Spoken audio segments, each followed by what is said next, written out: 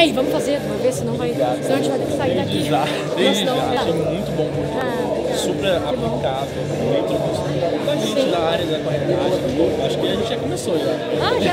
Que bom, vou ficar mais contente. Eu acho que a, a questão, que como você falou, é muito polêmica, a questão do endereço. A gente, com toda a tecnologia que a gente tem hoje, a gente está vendo aí claramente a questão do Uber. A tecnologia acaba mudando a forma das coisas acontecer, muda o mercado. Acho que isso acontece no meio eh, no mercado imobiliário também no meio digital. A gente vem com esse conceito novo que às vezes a pessoa que tá, começou lá no início acaba não conseguindo entrar nisso, tem essa dificuldade. Eu queria que você abordasse um pouquinho, né, você falou de números, né, e tal. esse ponto é super importante para o pessoal que está assistindo. E algum outro ponto que você acha endereço. E alguns pontos, alguns números que você falou. Aham. também. Pode comentando, eu vou lembrar de outras Sim. coisas. Bom, em relação ao endereço, só para fazer o contexto, eu tinha falado que eu sou totalmente defensora do- do- da utilização do endereço. Tenho certeza que o mercado imobiliário tem motivos para ter uma certa resistência em relação Sim, a isso. sim, sim. Porque realmente, de fato, acontece. Mas no momento que o consumidor realmente quer uma coisa e ele tem como Sim, ter. sim. Hoje em dia, até mostrei na, na apresentação, hoje dos 20 mil clientes do Viva Real, 39% é, colocam o endereço. Então, assim, tem como é, buscar imóveis em lugares que têm um endereço. E aí o consumidor acaba preferindo isso.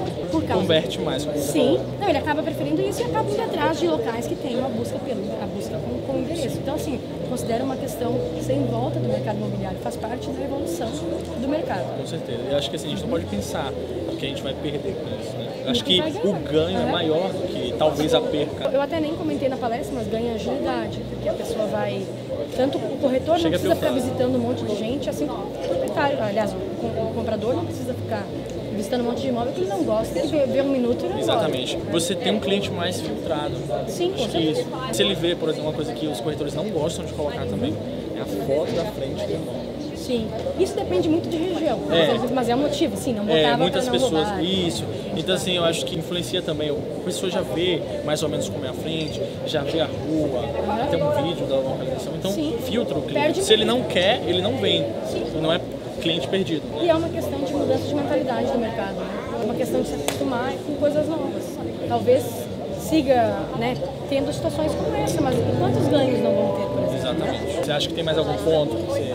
Ah, Eu comentei também sobre a questão de mobile, né, a questão da, da importância, né, de forma geral, não só pelo celular, pelo, pela questão do endereço. O mercado imobiliário, ele é mobile first, que a gente fala. Idealmente, as, os nossos sites deveriam ser primeiro feitos para celular. O mercado imobiliário é perfeito para questão Hoje- endereço, como a gente. Mudou muito, as pessoas acessam muito. Né? O celular representa muito.